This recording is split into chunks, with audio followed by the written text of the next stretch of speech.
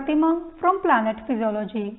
In this video, we shall have a brief overview on properties of skeletal muscle. We shall discuss electrical and mechanical properties with respect to their definitions, causes and significance. Skeletal muscle exhibits various properties like excitability, conductivity, contractility, refractory period, all or none law, summation, tetanus and fatigue. Knowledge about these properties helps us to understand the principles behind recording and interpreting EMG that is electromyogram. So let us start with the excitability. It is defined as ability of a tissue to respond to an adequate stimulus. It depends on two factors strength and duration of the stimulus. The relationship between the strength and duration of the stimulus is indicated in this graph. Shown in red color is the relationship for the nerve and in green color is for the skeletal muscle. And this graph is called as strength duration curve or SD curve. So let us study the components of this strength duration curve. The first component is Rheobase. It is the minimum strength of the current required to elicit the response from the tissue. We have to give adequate time for the stimulus to act. As indicated by this dotted line, this is the strength required to elicit response from the nerve. So, this is the rheobasic current for the nerve. In the same way, this is the rheobasic current for the muscle. So, any strength before this was not able to elicit response from the tissue, but at rheobasic strength, tissue showed response. The next component in this strength duration curve is utilization time. It is the minimum time required or taken up by the tissue to elicit the response when the strength is rheobasic. X-axis is the time interval. So, this is the time interval taken by the nerve to show the response when the stimulus is rheobasic. Similarly, shown in this green dotted line is the utilization time for the skeletal muscle. The third and the most important component of this strength duration curve is chronaxy. It is defined as minimum time required by the tissue to elicit response when the strength of the stimulus is double the rheobase. So, let us understand with the help of diagram. So, this is the rheobasic current required to elicit the response. Now, we double this current. So, this is the twice the rheobase current and when twice the rheobase current is applied, response is given quickly. So, this time interval in which response is elicited is called as chronaxy. So, this is the duration for the nerve or chronaxy for the nerve and this is the chronaxy for the skeletal muscle. Chronaxy is the standard for excitability and there is inverse relationship between chronaxy and excitability of the tissue. Lesser the chronaxy, more is the excitability.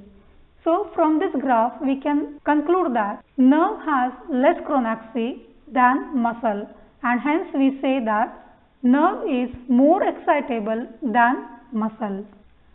Now coming to the second property conductivity. It is ability of a tissue to conduct impulses. To understand this here is a picture. This represents sarcolemma. This is the motor nerve and this is the neuromuscular junction. When signals arrive at neuromuscular junction from the motor nerve, it initiates impulse generation at motor end plate which travels on either side of the muscle as well as deeper into the muscle via T-tubule system. Thus, skeletal muscle has ability to conduct impulses. Excitability and conductivity are the electrical properties of the muscle. Now coming to the mechanical properties of the muscle, first we will study contractility. It is defined as ability of tissue to respond to the adequate stimulation in the form of contraction. As skeletal muscles are voluntary in nature, they will contract only in response to the impulse. When a single stimulus is provided to the motor nerve, muscle contracts once. This single muscle contraction is called as muscle twitch and it can be recorded in the form of curve which is called as simple muscle curve. Now let us understand the components of the simple muscle curve. First line indicates the time at which stimulus is provided to the nerve. So this is point of stimulation. After a certain time interval, muscle begins to respond. So this is the line indicating beginning of the response. The time interval between the point of stimulus and beginning of the response is called as latent period. Once muscle begins to show response, the response gradually increases and attains a peak or summit. So the time duration between beginning of the response till the summit is termed as contraction period and after the peak muscle begins to relax.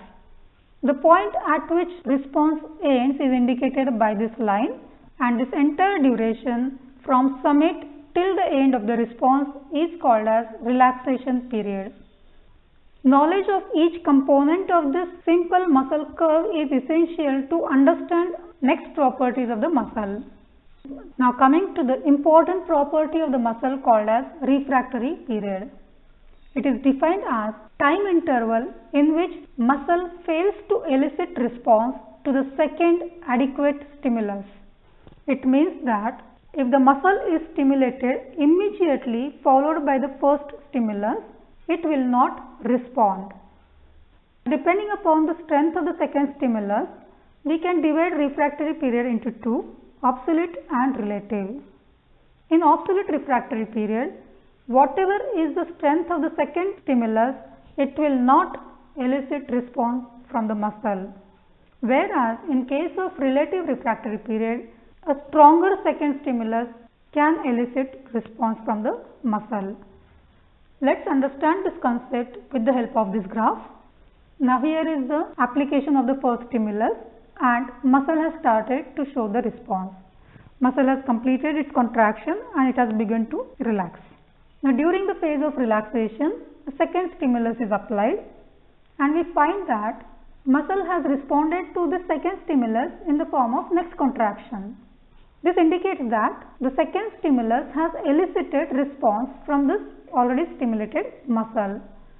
So this relaxation phase of the muscle is not refractory because application of stimulus during relaxation has elicited response. Now if we try the second stimulus in various phases of muscle twitch, we can find out which phase of the muscle contraction is refractory.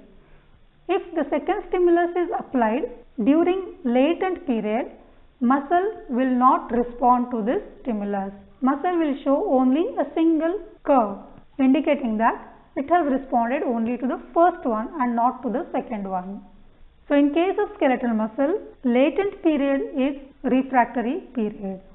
In this also, the first half of the latent period is absolute refractory and second half of the latent period is relative refractory. It means if a stronger second stimulus is applied during second half of the latent period, muscle will show response to it. The molecular mechanism for this refractory period is inactivation of voltage gated sodium channels. Now in case of skeletal muscle, action potential is spike potential and for every action potential the entire depolarization and the initial one third of repolarization is refractory. The spike potential occupies latent period and hence latent period is refractory in case of skeletal muscle. If we compare this property with cardiac muscle, we will find that cardiac muscle shows plateau potential and hence the phase of depolarization lasts for longer duration and therefore refractory period also lasts for longer duration and hence in case of cardiac muscle, this property is known as long refractory period. Because of this difference in the duration of refractory period, skeletal muscle will show certain properties which will not be seen in case of cardiac muscle. That we will see later. Now coming to the next property, all or none law. In case of skeletal muscle, all or none law is obeyed by motor units or it is applicable to motor units. It means that when the threshold stimulus is applied, all the muscle fibers in that particular motor unit will contract to their maximum If the stimulus applied is subthreshold, no muscle fibers in that motor unit will contract at all. So, this is all or none law property. Now, let us understand what is this motor unit. All the muscle fibers innervated by a single motor neuron constitutes motor unit. This is a motor neuron innervating these three muscle fibers. So, this entire structure constitutes a motor unit. In any given muscle, there are many motor units. So, let us understand again with the help of diagram. This is one motor unit. So, whenever adequate stimulus is given to this motor neuron, all these muscle fibers will contract. But this adequate stimulus may not be sufficient to elicit contractions in the other muscle fibers innervated by other motor neuron. This red color motor nerve along with its muscle fibers constitutes second motor unit. When a stronger stimulus is given, the second motor unit also will be excited. So, in response to the stronger stimulus, the first as well as second motor unit will respond. All these muscle fibers will contract to their maximum and as a result force generated by the muscle will be stronger. And because skeletal muscle obeys all or none law property, for motor unit, we can obtain gradations in the response given by the muscle as per the need of the body. Let us understand with the example. Suppose you want to lift a pen from the desk. You need very small force to be generated and as a result just adequate stimulus will be provided to the muscle to perform this action. Now from the desk instead of pen if we want to lift a book you know book is heavier than pen and therefore a stronger stimulus is necessary. So in this case brain because of its judgment gives stronger stimulus to the motor nerve. It causes stimulation of more number of motor units leading to increase in the force of contraction by which you can lift the book from the desk. So, this addition of motor units to perform a particular action is called as recruitment of the motor units. So, stronger is the requirement of generation of force, more is the recruitment of the motor units.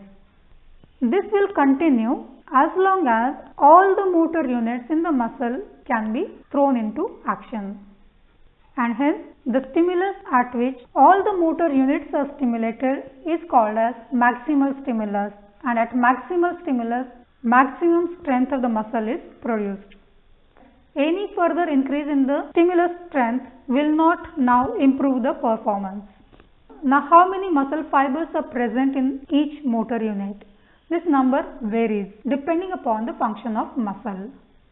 The muscles which are required for skilled activity will have lesser number of muscle fibers in a motor unit. For example, your extraocular muscles. They are concerned with very skilled activity and hence there are just 3 to 6 muscle fibers in one motor unit. Similarly, your hand muscles or finger muscles, they are involved in skilled activity and therefore they have less number of muscle fibers in individual motor unit. Here is the example of skilled activity. This is actually the rangoli drawn by these two persons. So, to have very fine control over the muscle, the number of muscle fibers in a motor unit are less. In contrast, muscles concerned with gross activity will have more number of muscle fibers in individual motor unit. For example, your anti-gravity muscles, the muscles of back or leg, they will have hundreds of muscle fibers in a single motor unit. Now coming to the next property summation. Summation means addition. It is defined as fusion of contraction with repeated stimulation of the muscle. The degree by which muscle contractions are fused will depend on the frequency of stimulation. When frequency of this repeated successive stimulation is less, the muscle contractions occur one after other and there is progressive increase in the force of first few contractions which is termed as staircase phenomenon or treppe.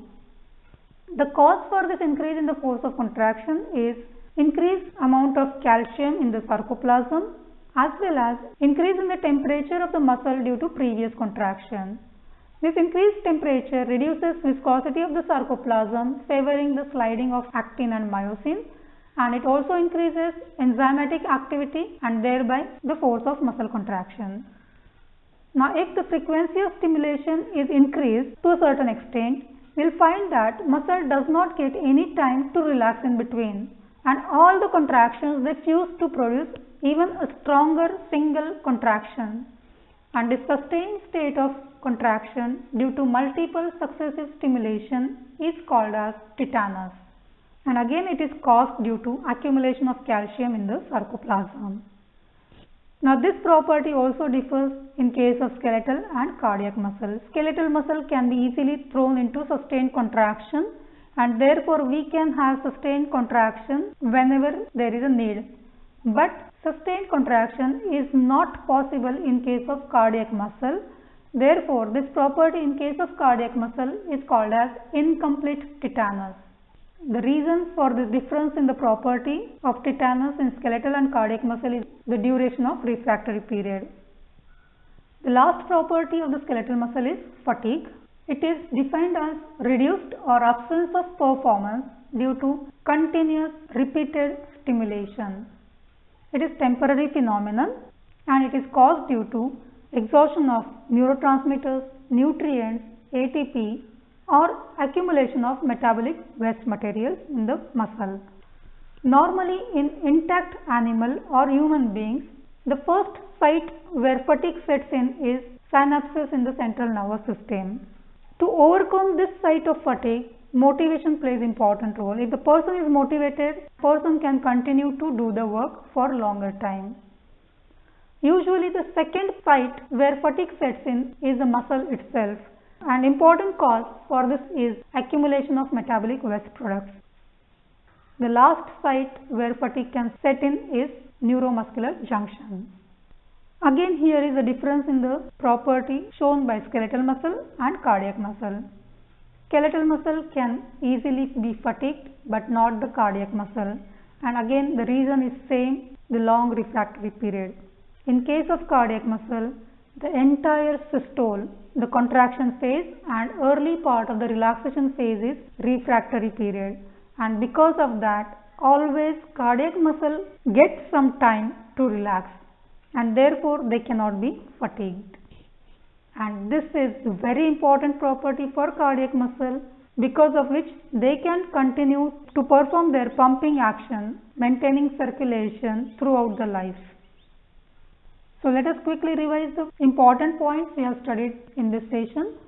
Skeletal muscle shows the property of excitability, conductivity, contractility, refractory period, All-or-none law, summation, tetanus and fatigue. Refractory period in case of skeletal muscle is very low and because of that it can show summation, tetanus as well as fatigue. All or none law is obeyed by individual motor units and because of this gradations in the response is possible in skeletal muscle and which is also necessary to save the energy expenditure on the muscle contraction. So that's all for this session. Thank you. If you enjoy my sessions, press like button and share it with your friends. If you haven't yet subscribed my channel, subscribe it now and press the bell icon to get further notifications. Thanks for watching. See you in the next video.